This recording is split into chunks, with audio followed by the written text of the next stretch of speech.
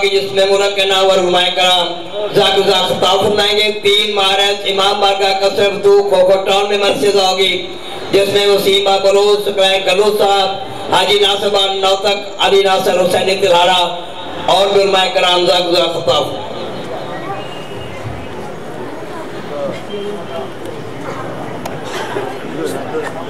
محمد والے محمد بلند پر سلامات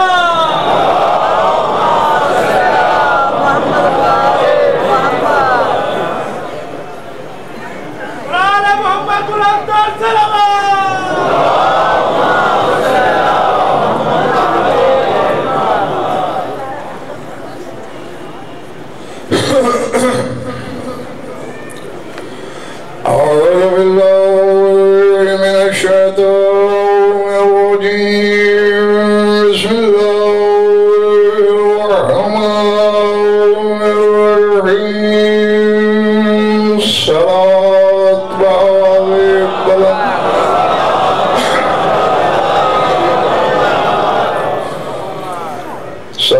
سروات ایسی کہ کچھ کہنے کو طبیعت چاہے۔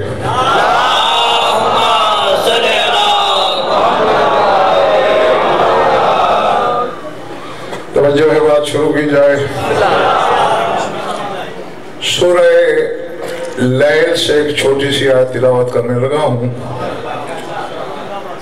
میں جتنی گیرائی اور گہرائی سے آپ آیت اور اس کے ترجمے کو لوہے دل پہ نقش کریں گے اگلے مراحل انشاءاللہ اتنے آسان ہیں۔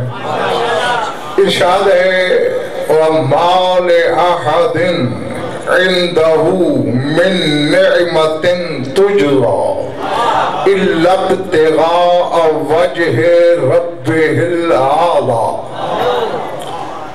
اب یہاں نام نہیں ہے، صرف ضمیر ہے۔ فرمایا، اس کے پاس کسی کی نعمت نہیں ہے کہ اس کا صلہ دیا جائے۔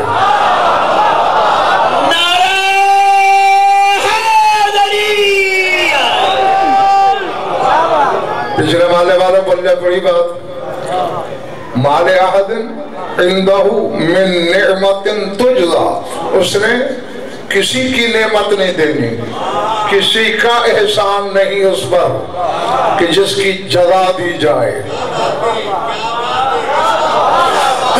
اب اللہ نے کہہ دیا شہبر والوں نہیں پتا تھا کہ کس کی بات کر رہا ہے خدا۔ تو ویسے بھی کائنات عالم کے عالم مل کر۔ قرآن کی آیت تو کیا لفظ کی تفسیر نہیں کر سکتے جب تک اس دروازے پہ نہ جائیں جس چوکٹ پہ قرآن نازل ہوا ہے۔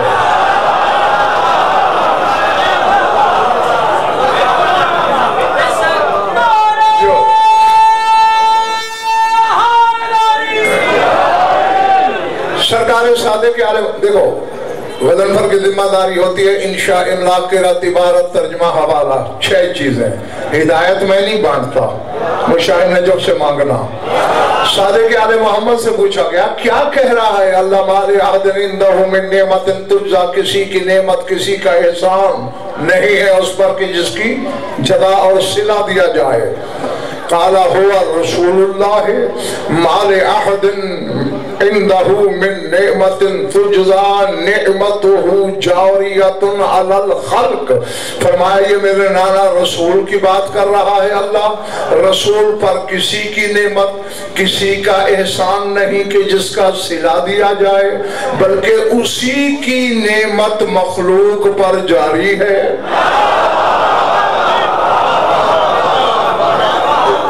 سمجھ آ رہی ہے پچھلے والے والوں؟ داد یہی دیں گے جو مجرم ہے آگے بیٹھنے کے۔ ہاتھ اٹھانے کی چھٹی کسی کو نہیں۔ اب یہ آیت اور معصوم کی تفسیر بتا رہی ہے کہ ابو، اب رسول پر کائنات عالم میں سے کسی کا احسان نہیں، کسی کی نعمت نہیں دینی رسول نے۔ بلکہ اس کی نعمت مخلوق پر جاری ہے۔ اور سورہ زحا میں عزیز الطاف اللہ کہہ رہا ہے، اما بنعمت ربک فحدث۔ اے رسول، اپنے رب کی نعمت کا ذکر کر۔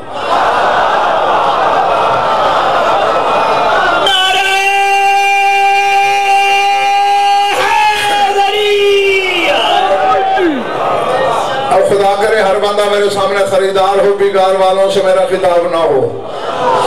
اما بے نعمت رب کا فحدث۔ اپنے رب کی نعمت کا ذکر کر۔ ادھر کہتا ہے کسی کی نعمت نہیں، کہتے مگر رب کی نعمت تجھ پر ہے، اس کا ذکر کر۔ اب ذرا سر اٹھاؤ، میری آنکھوں میں آنکھیں رکھو۔ پانچ کی قسم، بارہ کی قسم، چودہ کی قسم، ان کے خالق کی قسم۔ کی کتابوں سے نہیں، جن کتابوں پہ تیرے مذہب کی چھت کھڑی ہے۔ ان میں میں نے اس آیت کی تفسیر پڑھی، کیا کہہ رہا ہے اللہ؟ اما بنعمت رب کا فحدث، کہ اپنے رب کی نعمت کا ذکر کر تو مجھے یہ ملا کہ اے حدث العبادة بمنن أبي علی عليك وفضاء إلى علي في الكتاب لكي يعتقدوا ولايته اے رسول کائنات میں کسی کا احسان نہیں ہے تجھ پر، مگر مخلوق کو ابو طالب کے احسانوں کا ذکر کر۔ آہ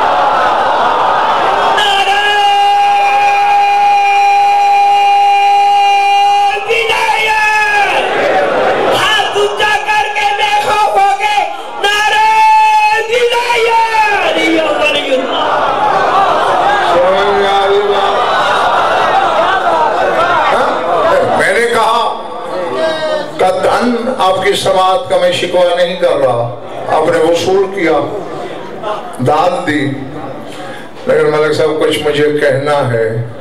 اور وہ کہے بنا بات نہیں بنتی۔ ادھر کہتا ہے کہ مخلوق میں سے کسی کا ابو طالب پہ سامنے ادھر کہتا ہے، حد سری بات اب مینا نے ابھی طالب علیہ، جو تجھ پر ابو طالب کے احسان ہیں ان کا ذکر کر۔ وہ علی فی اور قرآن میں جو علی کے فضائل ہیں، ان کا ذکر کر۔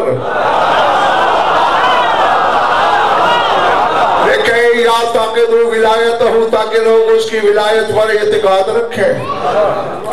آخری بندے تک، میری آنکھوں میں آنکھیں ڈالنا۔ باتیں دو ہیں۔ یا تو معاذ اللہ حضر صاحب ملازم نیل یہ فتوہ لگاؤ کہ قرآن کبھی کچھ کہتا ہے، کبھی کچھ کہتا ہے۔ کیونکہ پہلے کہہ رہا ہے کہ مخلوق میں سے کسی کا احسان محمد مرصفہ پر نہیں۔ اب کہہ رہا ہے کہ ابو طالب کے احسانوں کا ذکر کر تو پھر ماننا پڑے گا کہ ابو طالب کا احسان مخلوق کا احسان نہیں، گویا اللہ کا احسان۔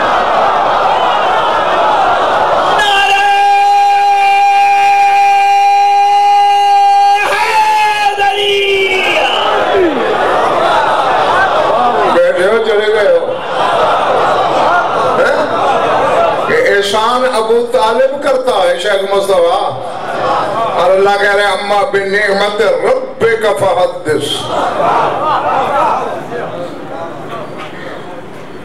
اب ایک لفظ تو ہے سوچ رہا ہوں کہوں یا نہ کہوں حالانکہ قرآن میں نعمت کے ساتھ اللہ کا نام آیا ہے۔ سورہ نحل پڑھنا یارفون نعمت اللہ، ثم ینکرونہ لوگ اللہ کی نعمت کو پہچانتے بھی ہیں، پھر انکار بھی کرتے ہیں۔ سمجھ آ رہی ہے بھائی جانی لیکن یہاں اما بے نعمت اللہ نے کہا، بے نعمت رب کا یہ نہیں کہا کہ اللہ کی نعمت کا ذکر کر۔ انیس بیٹے اگر کہتا اللہ کی نعمت کا ذکر کر، تو پھر ابو طالب الگ ہو جاتا۔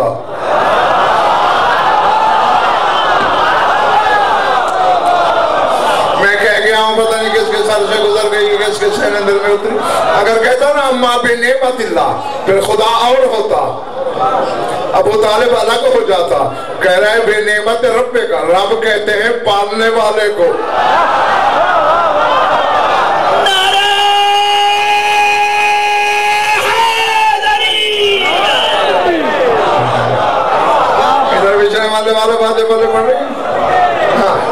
لفظ ہی وہ استعمال کیا جو دونوں پہ بولا جا سکے۔ اللہ اکبر۔ میں ذرا چہرے دیکھ لوں۔ سر اٹھا اصل میں حقیقت یہ ہے، بلکہ یہ حقیقت قاہرہ ہے کہ سرکار ابو طالب کی ذات تاریخ کا اندھیرا ہے۔ رات کے اندھیرے میں چھپی ہوئی حقیقت نظر نہیں آتی۔ اور جس کی ذات پہ تاریخ کا اندھیرا پڑا ہوا ہے، اسے کون جانے؟ زندگی میں محتاط اندازے سے ممبر حسینی پہ جو کہ بات کر رہا ہوں۔ کم از کم سینکڑوں مجالس میں نے سرکار ابو طالب پر پڑھی اور ایک سے دوسری نہیں ملنے دی اور میں نے کبھی سرکار کے ایمان پہ بحث نہیں کی۔ ہمیشہ فضائل پڑھے ہیں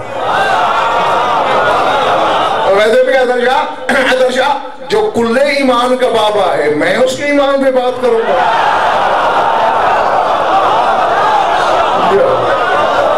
اس کے ایمان پہ بات کرتے ہوئے مجھے شرم آتی ہے۔ اس لیے میں نے ہمیشہ فضائل ہی پڑھے ہیں۔ اور اس چیز کی مجھے دعوت فکر رسان اللہ کے ایک جملے نے دی تھی۔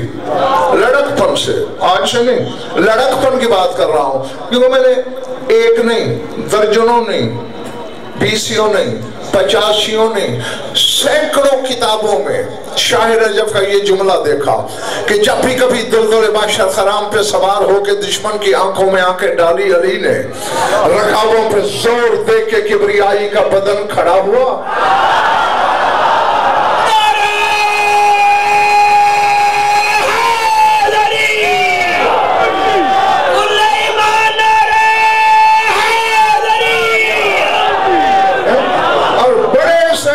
دشمن کی آنکھوں میں آنکھیں ڈال کے بھی عزیز شفقت یہی کہا ہے شاہ نجف نے. انا تعلم انا ابن ابی طالب. ہے تجھے علم نہیں میں ابو طالب کا بیٹا؟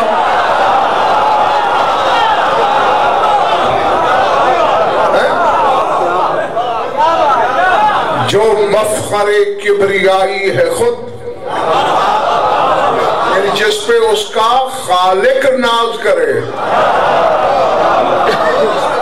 وہ کہہ رہا ہے تجھے معلوم نہیں میں ابو طالب کا بیٹا ہوں۔ ہاں، ہاں۔ حالانکہ علی کو ملک صاحب باپ ہونے پہ ناز ہوتا ہے۔ کوئی اگر کہے نا کہ خلق اللہ آدم من تراب، کہ اللہ نے آدم کو تراب سے خلق کیا، تو علی کہتا ہے میں ابو تراب ہوں۔ پتہ نہیں تمہارے ساتھ سے گزر گئی ہے۔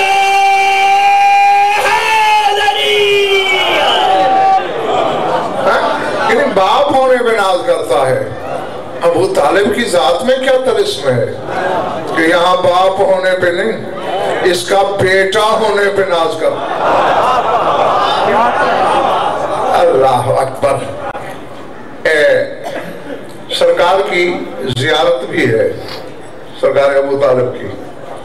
جیسے نماز کے بعد جناب رسالت باپ کی زیارت پڑھتے ہو، سلطان کربلا کی پڑھتے ہو، سلطان مشہد کی پڑھتے ہو، امام زمانہ کی پڑھتے ان کی بھی زیارت ہے۔ اور علامہ امین نام علی، جن کی آیان شیعہ مشہور زمانہ کتاب ہے، دس جلدوں میں، ان کی ایک دوسری کتاب ہے، مفتاح الجنات۔ اس میں انہوں نے سرکار کی زیارت کو نقل کیا ہے۔ اگر خریدنے کا سکہ ہے جیب میں، تو زیارت کے دو تین فکر سناؤں تمہیں۔ ہاں، پھر شاید کچھ تصور قدے میں تصویر پیدا ہو کہ ابو طالب کسے کہتے ہیں۔ سر اٹھانا۔ السلام علیکہ، یا سید الفتح وابن رئیسہا۔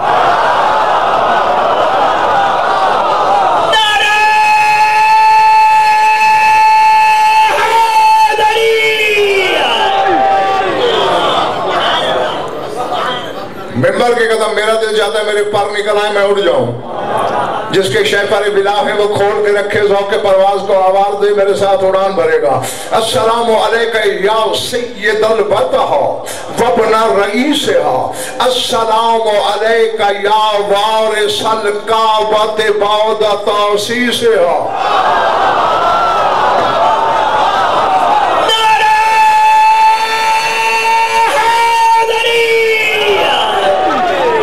السلام علیکم یا وارثن کعبت بعد تاسیسها السلام علیکم یا قافل الرسول و ناصره السلام علیکم یا ام المصطفى و ابا المرتضى السلام علیکم یا بغیت البلد۔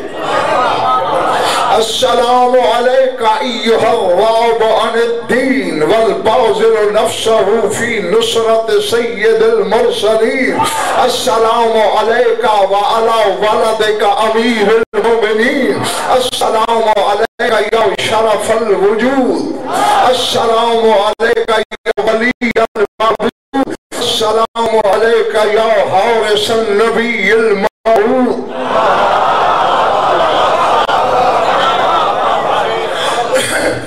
اب اگر مرادم نہ خریدا گیا یہ سودا۔ تو میں سمجھوں گا کہ تم نے خریدار نہیں بٹھائے میرے سامنے۔ کرو ترجمہ۔ اگر زیادہ بھی رہتی ہے۔ میں نے اقتباس پڑھا ہے۔ اے سید الفتح، میرا سلام۔ اے فتح کے رئیس کے بیٹے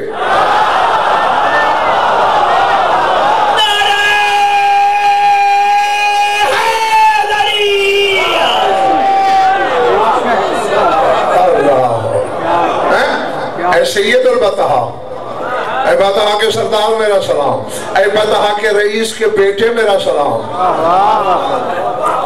اب ظرف سنبھالنے بھی ہیں اور میرے ساتھ بولنا بھی ہے۔ السلام علیکہ یا وارث القعبت بعد تاسیسها اے کعبے کی بنیاد کے بعد کعبے کے وارث میرا سلام۔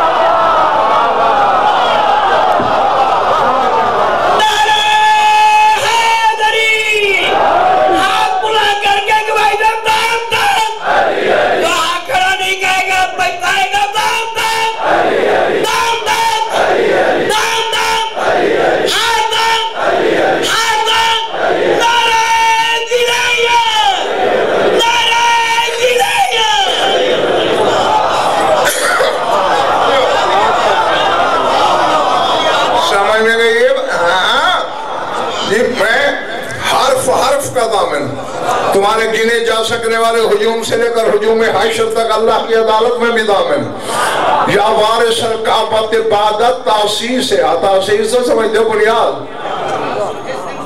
شاد باش ہاں، جس دن سے کعبہ کی بنیاد ہے، تو وارث ہے۔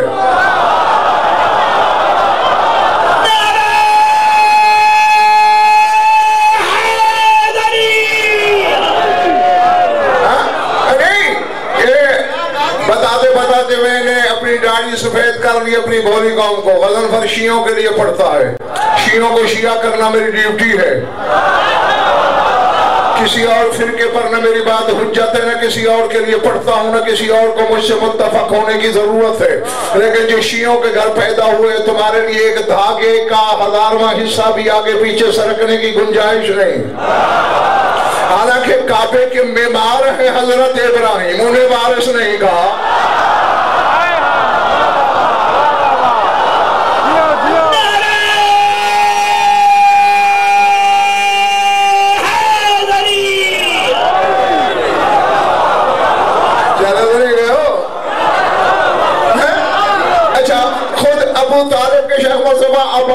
ابا جو ہیں اس بیٹے ان کو نہیں کہا، حضرت حاشم کو نہیں کہا،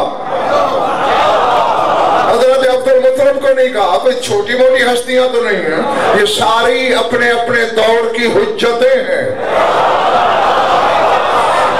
ہاں میری انیس سال عزیز الطاف اس وقت عمر تھی، انیس برس۔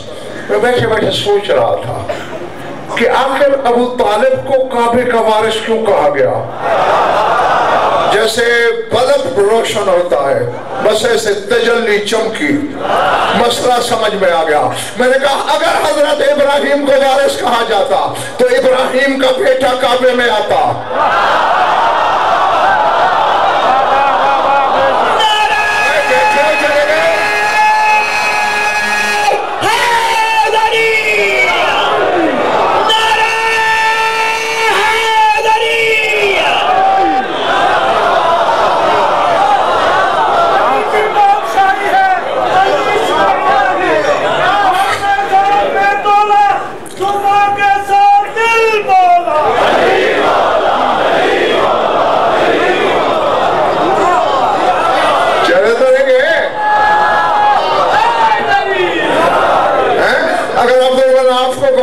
کہا جاتا تو جناب ہاشم کعبے میں آتے۔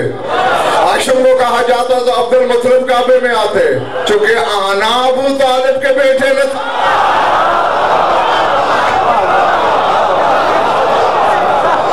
اللہ اکبر۔ اللہ اکبر۔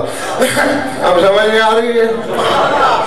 کیا نسبتیں ہیں کعبے سے؟ اب تو میں صحیح لفظ بولوں گا۔ کیا نسبتیں ہیں ابو طالب کی اللہ کے گھر سے؟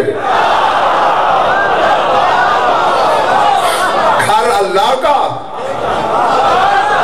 وراثت ابو طالب کی۔ اللہ ایمان سے کہنا، مولا کے ذکر کے صاحبان کے نیچے بیٹھے ہو۔ ہم میں سے کسی بڑے دل گردے والے شخص کو بھی مولانا حسین اگر کوئی آ کے یہ بتائے کہ تمہاری زوجہ دیوار کے پاس تھی، دیوار پھٹی، وہ اندر گئی، دیوار مل گئی۔ ہوائیاں نہیں اڑ جائیں گی بولو پریشانی ہو جائے گا بندہ؟ گھبرائے گا نہیں؟ بولنے میں تو کوئی ٹیکس نہیں۔ ہے نا؟ سر اٹھاؤ۔ جب بنت اسد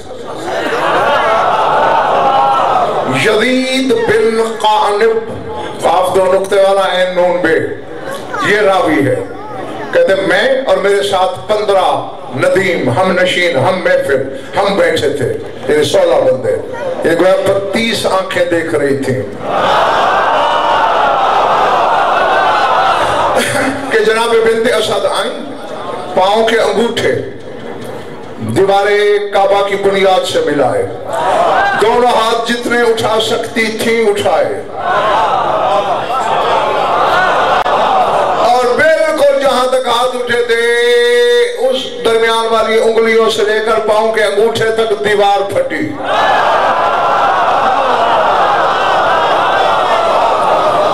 میں نے اس کو بھی عزیز سوچا کہ آخر دیوار ہی پھاڑنی ہے، اندر ہی جانا ہے، اپنی قامت کے برابر پھاڑ کے، چلی جاتی۔ یہ عزیز عزیز ہاتھ کیوں اٹھائے بی بی نے؟ چونکہ ماؤں کی فطرت ہوتی ہے شیخ برو والو، کہ جب بچے کی آمد کے موسم قریب ہوں، مائیں چھوٹے چھوٹے کرتے سی لیتی ہیں۔ چھوٹے چھوٹے گول گول تکیے بنا لیتی ہیں۔ بچہ آنے والا ہے۔ ہے نا؟ سولہ بندے پتیس آنکھیں دیکھ رہی تھی۔ علی کی ماں نے جان کے ہاتھ اٹھائے، دیکھ لو، میں خالی ہاتھ جا رہی ہوں۔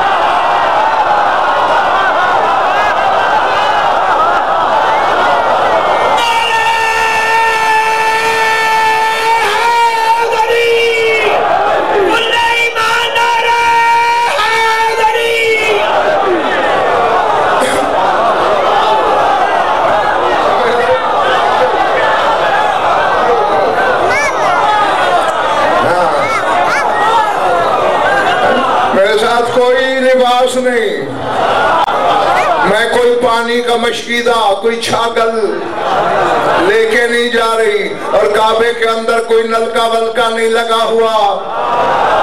اور جب میں نے بچہ لے کے باہر آنا ہے، وہ لباس میں ہوگا، پھر شک نہ کر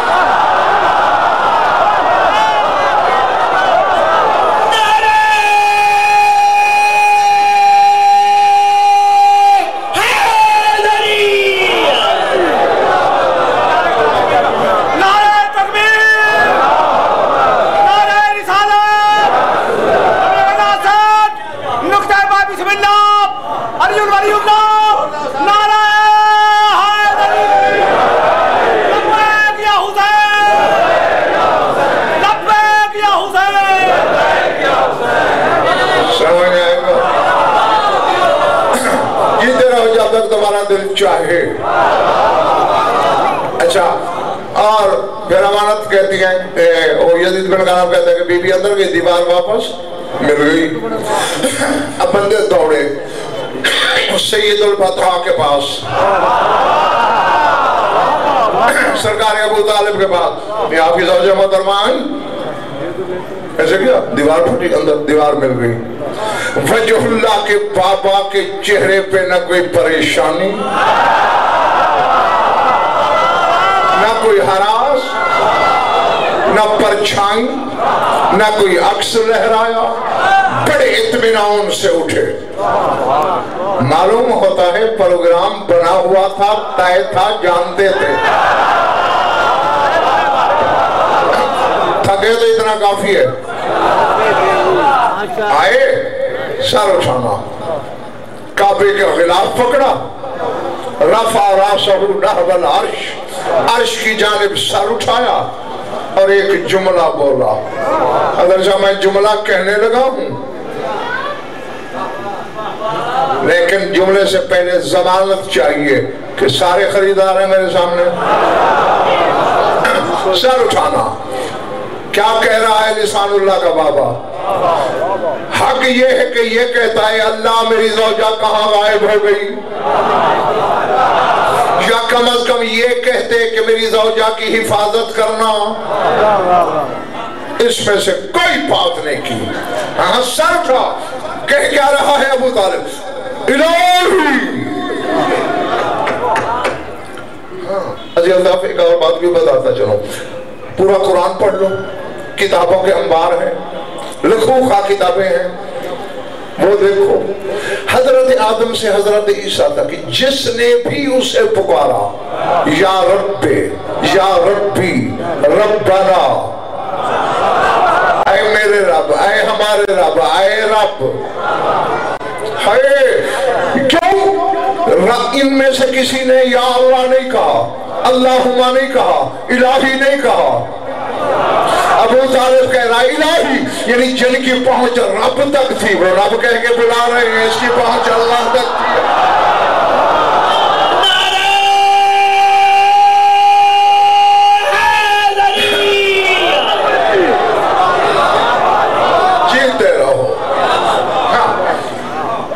اچھا کہہ کیا رہے ہیں الہی کیف اکوم بشکر کا اس جالت حرم کا حجاب حرمی اے میرے اللہ میں تیرا شکر کیسے ادا کروں کہ تو نے اپنے حرم کو میرے حرم کا پردہ بنا دیا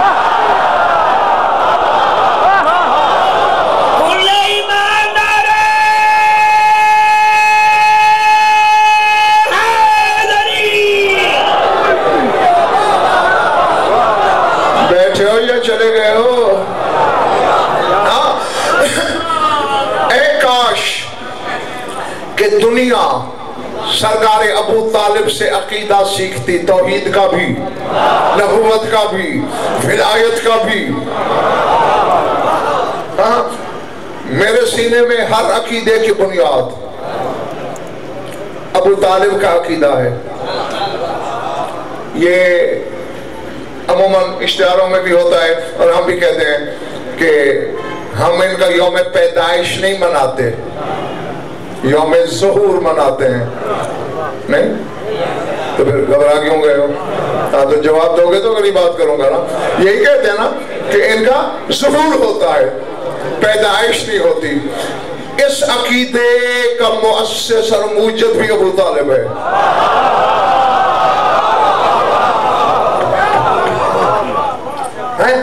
ہاں اصل آج کل کی کتاب نہیں۔ شیخ اقدم۔ شیخ جلیل ابو العلا اماد الاسلام، حسن بن احمد بن یحیٰ ازدی، بارہ سو سال سے زیادہ ہو گئے ان کے انتقال کو۔ ان کی روایت تمہیں سنا رہا ہوں۔ یہ سنتے رہتے ہو نا کہ دن دھن باندھا تھا بنت اسد نے، تیرے مولا علی کو، یہ میں کپڑا لپیٹ دیا نا چھوٹے بچوں کو، یہ ایجاد ہی عرب کی ہے۔ یہ بندھن عرب کی ایجاد ہے، کیونکہ جنگجو لوگ تھے، بندھن باندھتی تھی مائیں کے بچے کے ہاتھ پاؤں سیدھے رہے ہیں۔ تاکہ تلوار پکڑنے میں آسانی رہے۔ سمجھ میں آ رہی بات نہیں؟ ہاں تو جناب بنت اسد نے بھی علی کو بندھن باندھا۔ جھرجھری لی علی نے۔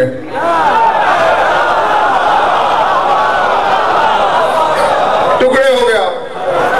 اچھا تیرے ابھی سے یہ تیور اب ایسے میری بات میں بھروسہ حسینی قرآن بھی لے آؤ عباس کا علم لاؤ، قرآن سر پہ رکھو، علم ہاتھ میں پکڑ کے پھر جملہ کہوں پھر ممبر حسین پہ بیٹھ کے دانستہ جو جھوٹ بولے، وہ کیا ہوتا ہے؟ یہ ذہن میں رکھ کے میری بات سننا۔ پانچ گواہ، بارہ گواہ، چودہ گواہ، ان کا خالق گواہ، ان سب کی قسم۔ اگر اپنی طرف سے کہوں، یہودیوں کا قبرستان بھی نصیب نہ ہو، مرتے ہوئے کلمہ مقدر نہ ہو ممبر حسینی پہ کوئی اتنی بڑی بد دعائیں اپنے آپ کو دے سکتا ہے؟ اور اتنی قسموں کے باوجود بھی اگر کسی شیعہ کے چہرے پہ شک کا سایہ لہرایا، تو میں اس سے اس کے ابا کا نام ضرور پوچھوں گا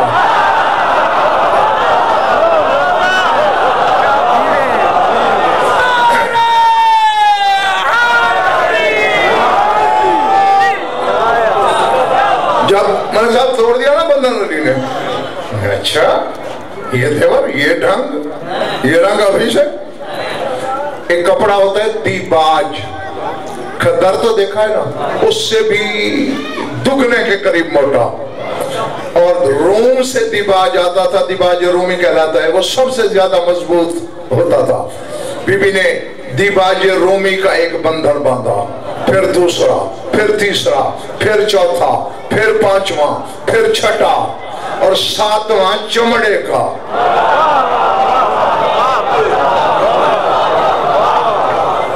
ہاں میں ذہنوں کے دریچے کھول کے خود نہیں آ سکتا لفظ بھیجنے ہیں۔ وصول تم خود کرو گے۔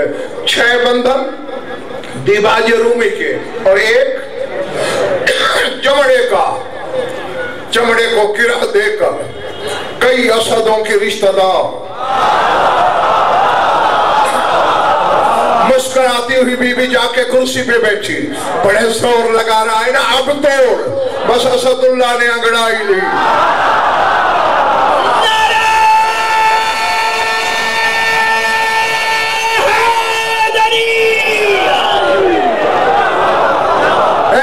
تہتر ٹکڑوں میں شیخ مصطفیٰ بٹ گئے بندھن۔ اب یہ جملہ جو اب کہنے لگا ہوں، یہ کتاب میں نہیں، میری سوچ ہے غلط بھی ہو سکتی ہے۔ شاید تہتر فرقے بنے ہی اسی لیے ہے کہ علی نے تہتر۔ ہاں، اب جناب ابو طالب بھی کھڑے تھے۔ سار اٹھانا، جو ابو طالب کو خراج دینے آئے ہو۔ جب دیکھا نا ایک انگڑائی سے۔ چھ دیباج اور ساتھ میں چمڑے کے تہتر ٹکڑے کر دیے علی نے جھکے علی کو اٹھایا پیشانی چومی اور کہا الحمدللہ اللذی من علیہ بظہور کا لا بالی ذنب الموت من حیث و عطا بنا ہر ہر حمد ہے اس ذات کے لیے کہ جس نے تیرے ظہور کا مجھ پہ احسان کیا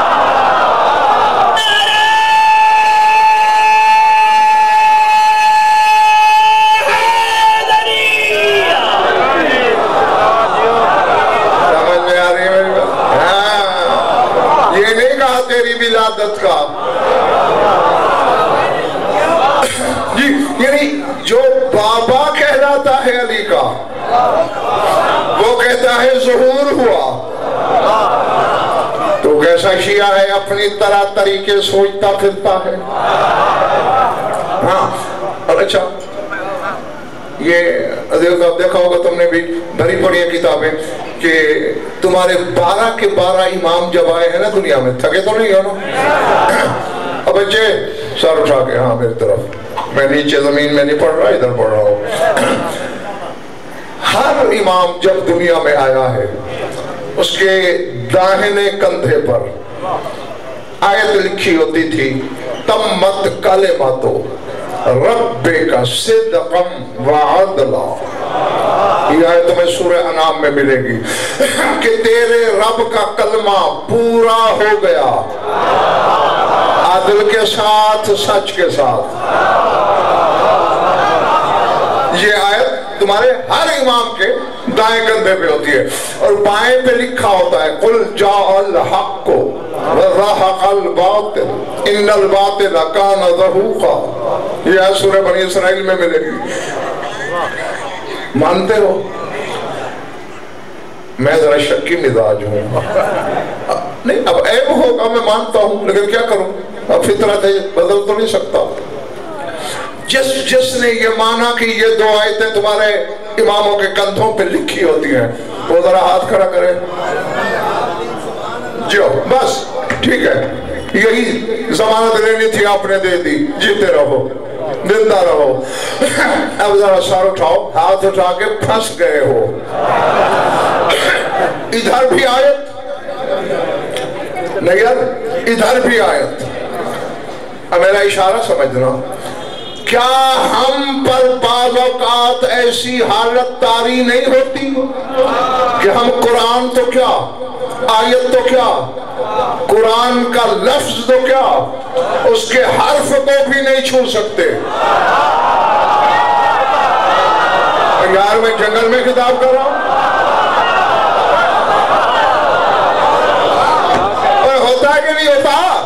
بعض اوقات ہم ایسی کیفیات میں ہوتے ہیں کہ قرآن کے ایک حرف کو ہاتھ نہیں لگا سکتے۔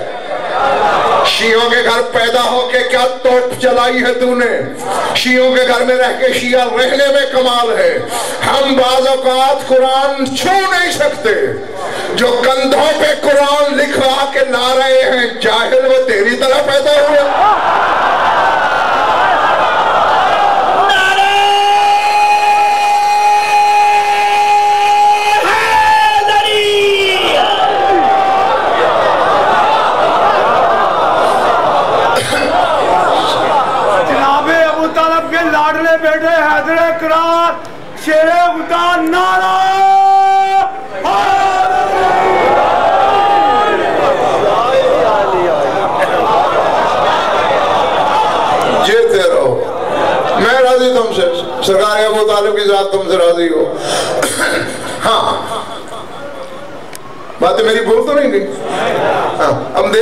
ہیں کہ اللہ اور بیت اللہ کی کیا نسبتیں ہیں ابو طالب کی ذات سے؟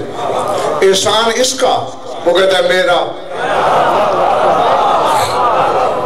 اسی طرح علم یجد کا یتیم فاوا کیا میں نے تجھے یتیم نہیں پایا؟ پھر تجھے پناہ دی۔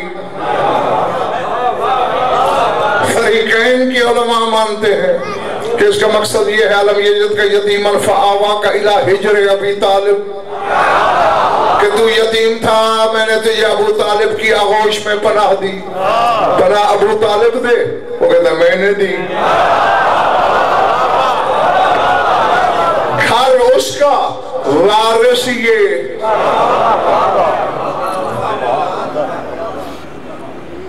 بات کہوں؟ کہ یہ جو حدیث سکلین پڑھی جاتی ہے، یہ پوری پتہ نہیں کیوں نہیں سنائی جاتی۔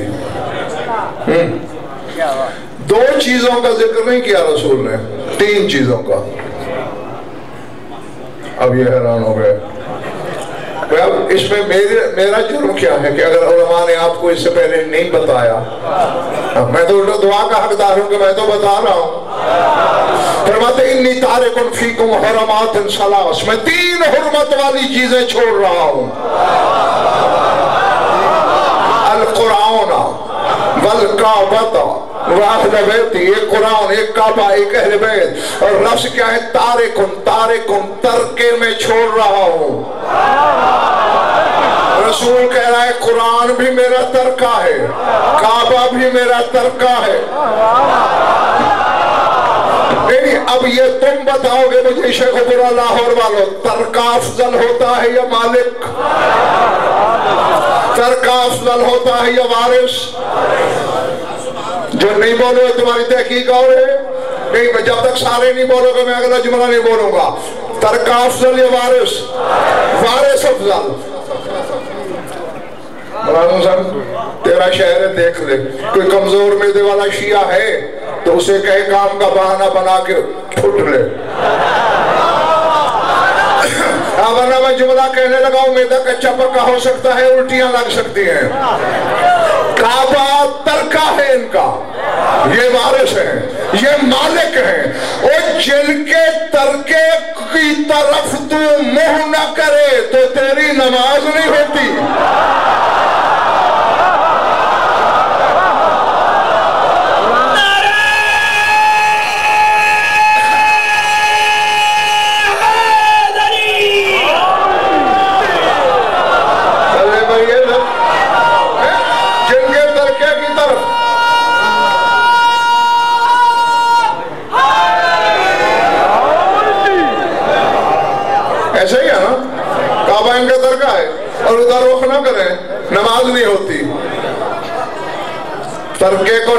میں شامل نہ کرو تو ہوتی نہیں۔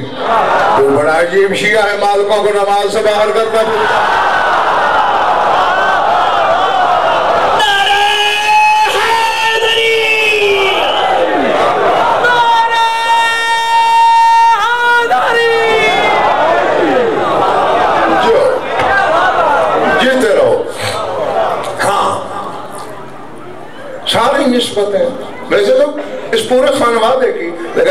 زیادہ سرکار ابو طالب کی۔ اور اس کے پیچھے یہ تو ہے نا، کم از کم یار ایک اشرا ہو اس سرکار پر، کم از کم۔ پھر کچھ تھوڑا سا تصور جو ہے وہ سامعین کے ذہن میں بٹھایا جائے کہ یہ کیا ذات ہے۔ ہاں تھکے تو بس بہت ہے۔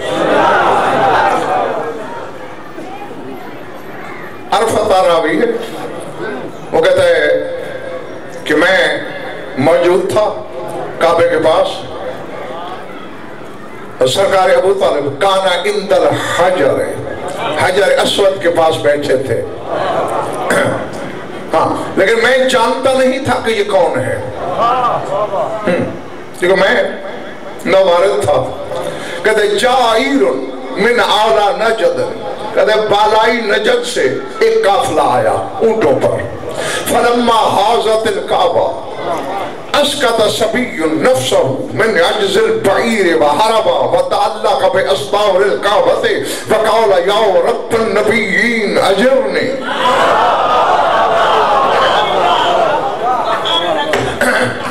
اب صاحب بیٹے، یہ تمہاری ڈیوٹی جی ہے۔ ہاں کہ نظر کرتے رہنا۔ جہاں عکس رہ رہا ہے پھر بتا دینا وہاں میں خود چلا جاؤں گا۔ جب کعبے کے برابر پہنچا وہ قافلہ۔ ایک بچے نے اپنے آپ کو اونٹ سے گرا دیا۔ بھاگا کعبے کی طرف۔ جا کے کعبے کے غلاف سے لپٹ گیا اور کہتا ہے اے نبیوں کے رب مجھے پناہ دے۔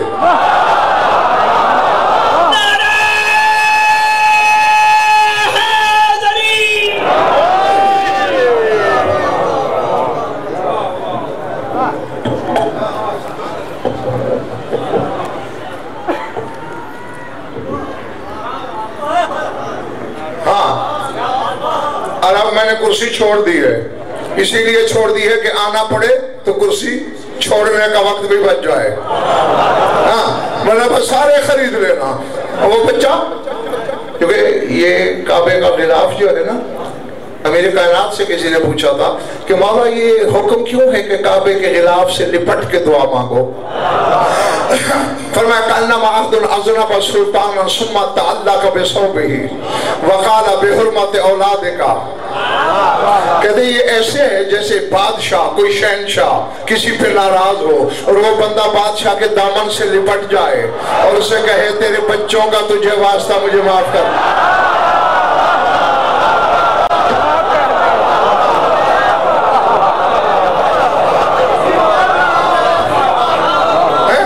فرمایا تو یہ کعبہ گویا اللہ کا دامن ہے۔ اس سے لپٹ کے جو بندہ کہے تجھے آل محمد کا واسطہ مجھے معاف کر۔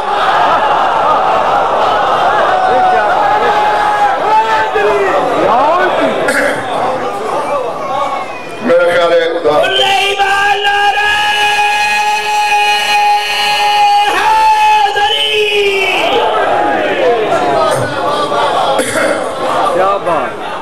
میں تھک گیا۔ بہت پچھتائے گا وہ شیعہ قیامت کے دن جو دنیا میں یا علی نہیں کہتا علی عقدہ امام علی نات کے قرآن علی کل ایمان نارا۔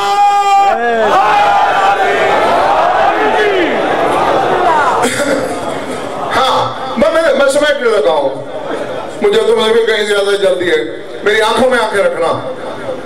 کعبے کو لپٹا ہوا ہے غلاف سے، اور کیا کہہ رہے ہیں؟ اے نبیوں کے رب، مجھے بنا دے۔ وہ الفتا کہتا ہے، قام شیخ جسیم وسیم علیہ بہاؤل ملوک و وقار الحکمہ کہتے ایک بزرگ اٹھے۔ میں نوارد تھا، میں پہلے نہیں جانتا تھا۔ حسن و جمال پھوٹا پڑ رہا تھا چہرے سے۔ چہرے پہ بادشاہوں والا جاہو جلال بھی تھا، حکمہ والا وقار بھی تھا۔ جا کے بچے کے سر پہ ہاتھ رکھ کے کہتے ہیں، یا سبھی ماں بالو بچے کیا معاملہ ہے تیرا؟ کہتے ہیں، سرکار انہا ابھی ماتب آنا صغیر وحاظ شیخ النجدی استعبدنی۔ میں چھوٹا سا تھا، اس سے بھی چھوٹا تھا، میرا باپ مر گیا اور یہ جو نجدی شیخ ہے نا، یہ زبردستی مجھے غلام بنانا چاہتا ہے۔ وَقُلْ تو عَشْمَعُ للہ لِلَّهِ بَيْتًا يَمْنَعُ ظُلْمَ۔ اور میں نے سن رکھا ہے، جو اللہ کا گھر ہے نا، وہ لوگوں کو ظلم سے روکتا ہے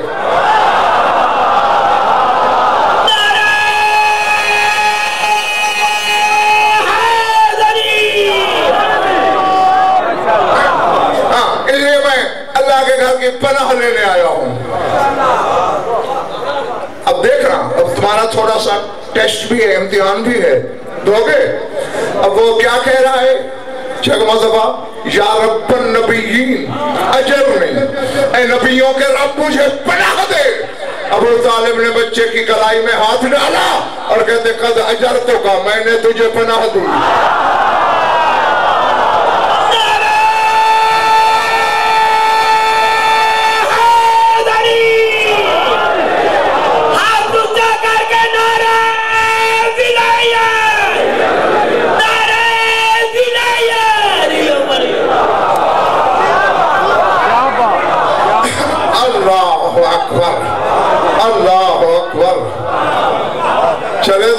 سامنے۔ جو کھڑے ہیں تھک تو نہیں گئے پناہ وہ اللہ سے مانگ رہا ہے۔ علی کا بابا کہتے کہتے جر تو کہ میں نے تجھے پناہ دی۔ اللہ اکبر۔ وجعل الشیخ النجدی یصحبہ۔ وَيُخَلِّصُ يَدَهُ مِنْ أَسْتَارِ الْقَابَتِ وہ جو نجدی شیخ تھا، وہ بچے کو کھسیٹنے لگا۔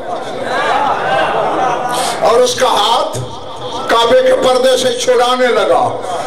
ید اللہ کے بابے نے کہا، خلے! ہمارے امدہ کا چھوڑ دے اس کا ہاتھ۔ تجھے علم نہیں پناہ دی ہے۔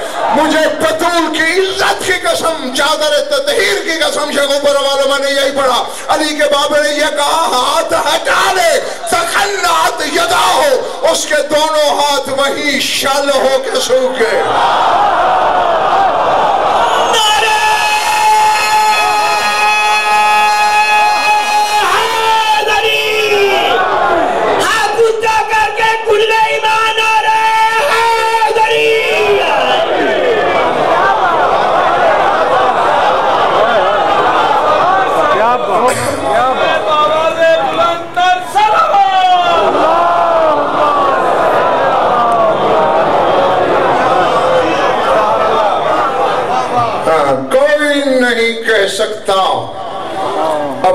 طالب کے سوا کہ اسلام کے سر پہ میرا سایہ، یا ابو طالب کی دستار کا سایہ، یا ابو طالب کی بہو بہو بیٹیوں کی چادروں کا سایہ۔ اللہ اکبر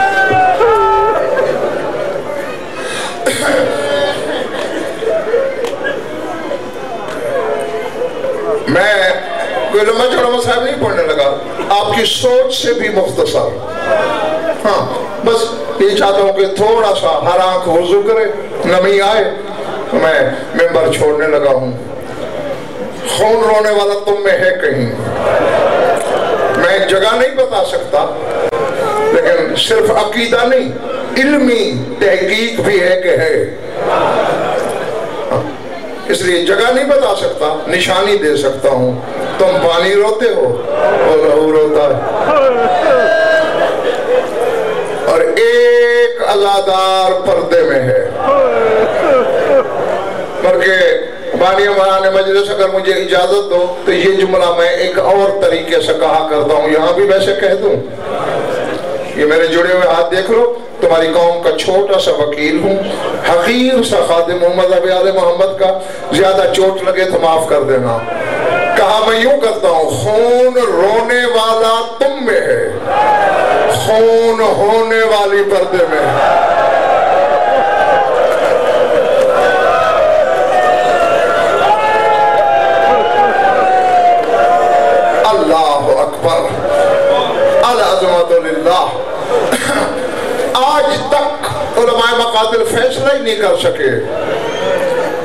سلطان کربلا کا لہو زیادہ بہا ہے یا مسافرہ شام کا؟ ہاں بس توجہ ہو گئے تمہاری۔ ایک کا ایک جملہ کہنا ہے اور میں گیا۔ پہلا جملہ جو میں بولنے لگا ہوں، اگر تمہاری سمجھ میں آ گیا تو شاید مجھے آگے پڑھنا ہی نہ پڑے۔ بہتر لاشے علی کی بیٹی نے کربلا کی ریت پہ چھوڑے۔ اللہ۔ کا کام ہے بہتر لاشیں کربلا کی تپتی ہوئی ریت پر۔ چونسٹھ لاشیں محملوں پہ سوار کیے۔ العظمت للہ ہاں بلکہ سیدو ہے سیدو مجھے معاف کر دینا، یہ محمل بھی تمہارے ڈر کی وجہ سے کہا میں نے، ورنہ محمل کہاں تھے؟ الاختہ بالارایا کے لفظ ہیں۔ لکڑیوں کے اونٹوں پہ پھٹے تھے۔ جن پر نبی زادیوں کو سوار کیا گیا۔ ہاں اور میں نہیں جانتا کہ گوشت کا ٹکڑا کہاں ہے اور پتھر کہاں ہے۔ جس کے سینے میں گوشت کا ٹکڑا ہے۔ یہاں بھی آنکھ وضو کرے گی، قبر میں بھی رونے کے لیے کافی ہے۔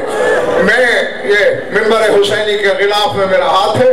یہ میرا دامن اگر میں روایت پڑھ دوں نا، رسیاں کیسے پٹی؟ ہاتھ کیسے بندھے؟ اگر پڑھ دوں یا خود مر جاؤ گے یا مجھے مار دو گے۔ اس لیے وہ نہیں پڑھنا چاہتا۔ بس پٹ گئی ہاتھ بند گئے، اونٹ بٹھا دیے گئے۔ شمر ملعون نے شامیہ سے کہا، ارکبوہن نے آل المتایا نبی دادیوں کو اونٹوں پہ سوار کرو۔ باقی بی بیبیاں دے شہو پورا والو خاموش رہیں۔ علی کی دونوں بیٹیاں آگے بڑھیں۔ فرماتے، تلہو انہ دور ہو جاؤ ہم سے۔ سوائے قرآن کے ہمیں کسی چیز نے مس نہیں کیا۔ قرآن کے علاوہ کسی نے ہمارے جسم نہیں چھو۔ ہمارے قریب نہ آنا، ہم خود سوار ہو جائیں گے۔ شمر کہتے بی بی ہاتھ بندے ہوئے ہیں، کیسے سوار ہو جاؤ گے? فرمائیں گے، تمہارا مسئلہ نہیں، تم مو دوسری طرف کرو. بس یہی کچھ کہہ کے میں جا رہا ہوں۔ لیکن یہ علم ذمہ داری سے کہہ رہا ہوں۔ ایک بی بی کو بڑی بہن سوار کرتی ہے۔ ایک کو چھوٹی سوار کرتی ہے۔ ہاتھ دونوں کے بندھے ہیں۔ پتہ نہیں کیسے سوار کرتی ہے اکتیس بیویوں کو شام والی نے سوار کیا۔ اکتیس کو جناب ام کلثوم نے سوار کیا۔ باقی دونوں بہنیں بچ گئیں شیخو بولے بولو شام والے نے کہا آؤ میں کلسوم تجھے بھی سوار کر دوں۔ اللہ کرے میں کہہ پاؤں اور خدا کرے تم سمجھ پاؤ۔ اس بہن کو بھی جیسے تیسے سوار کر لیا۔ پھر میں نے یہی پڑھا ہے نظرت یمینا و شمالا۔ علی کی بیٹی کبھی دائیں دیکھتی ہے، کبھی بائیں۔ پھر کہتی ہے، یا خل حسین، عین یدو کا یا خل عباس، عین رقبتو کا حسین تیرے ہاتھ کہاں ہے؟ عباس تیرا دانو کہاں ہے؟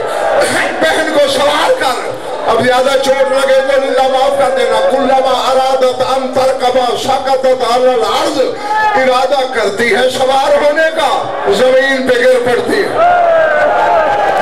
ارادہ کرتی ہے، زمین پہ گر پڑتی ہے۔ جب تیسری مرتبہ گئی، کسی بی بی نے بازو پکڑے۔ آ بی بی میں سوار کروں۔ کہ کون بی بی اونٹ سے اتر آئی؟ کس کے ہاتھ روکے گا اتنی برباد ہو گئی ہو، ماں زہرا کو نہیں پہچان سکی۔ تو اتنی مشکل سے سوار ہو رہی تھی، مجھے پہلو کا درد بھول گیا۔ میں جنت البقیہ چھوڑ کے تجھے سوار کرنے۔